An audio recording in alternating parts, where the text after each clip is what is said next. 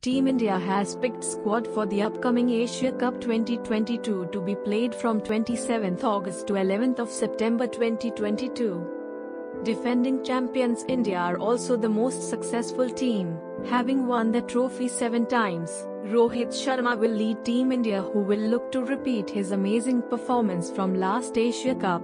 Virat Kohli and KL Rahul return to India's T20I squad for the Asia Cup.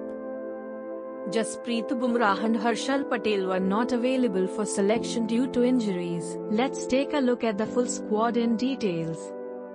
Rohit Sharma, Captain. KL Rahul, Vice Captain. Virat Kohli. Surya Kumar Yadav. Deepak Hooda. Rishabh Pant wicketkeeper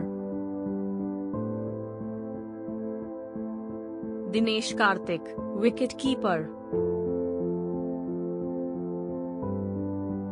Hardik Pandya. Ravindra Jadeja. Yuzvendra Chahal. R. Ashwin. Bhuvneshwar Kumar Ravi Bishnoi Arshdeep Singh Avesh Khan